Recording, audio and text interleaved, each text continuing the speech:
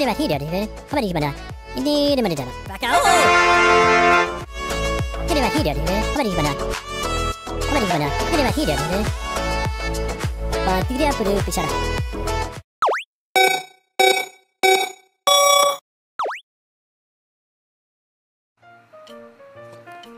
Welcome to Circuit Playground. Today we'll learn how to do different color animations, like this rainbow color, or this blue color, or different animations based on different events.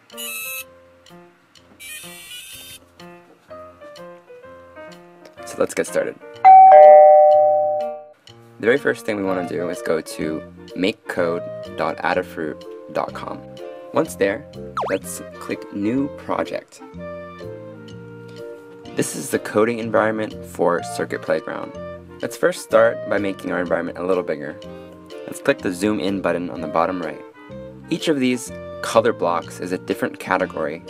For example, music, loops, and even more advanced ones that we'll get to a bit later. For now, let's go open up your light category. And there's a lot of different code blocks in the light category. Let's first grab show ring. Let's click it, hold down, and drag it to the right. If it is gray, that means it's not currently running. So let's click and hold it and move it inside the forever block.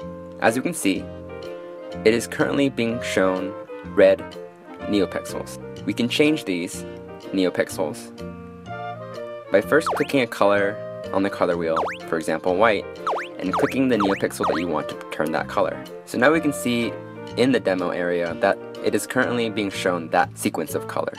But if we want to get it on our circuit playground, the very first thing we need to do is click the reset button in the middle. Once it is green, that means it is ready to load the code.